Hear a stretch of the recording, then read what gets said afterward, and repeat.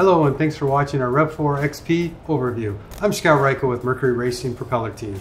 And I'm Nick Petersen. Today we'd love to talk to you guys about the key benefits and attributes of our Rev4 XP. Scott, the Rev4 XP has become synonymous with center consoles. Can you tell us a little bit about why?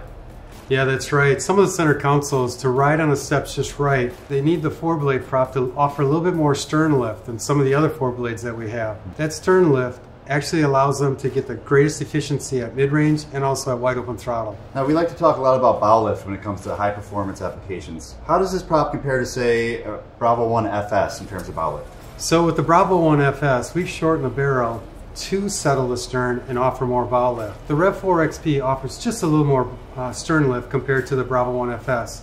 On the FS, you remember we shorten the barrel, settling the stern, offering more bow lift. The Bravo 1 LT, long tube, with a flare, offers the greatest amount of stern lift, where the Rev 4 is right in between. Scott, let's dive into some of the key features of the Rev 4 here. So Nick, when it comes to the long barrel, long straight barrel, it's an extension of the gear case. It's like a mini trim tab.